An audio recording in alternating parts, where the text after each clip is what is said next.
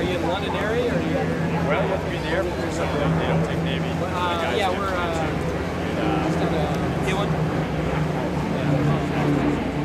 And I'm half English to begin with, so I can, my mom was.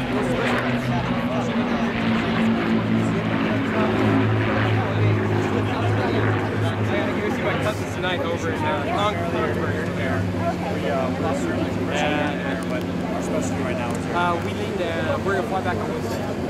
Because the tanker can't get the tankers. They flew us over here, dropped us off, the tanker back to the States. He did some more missions over there, now he's flying back to pick us up and us back.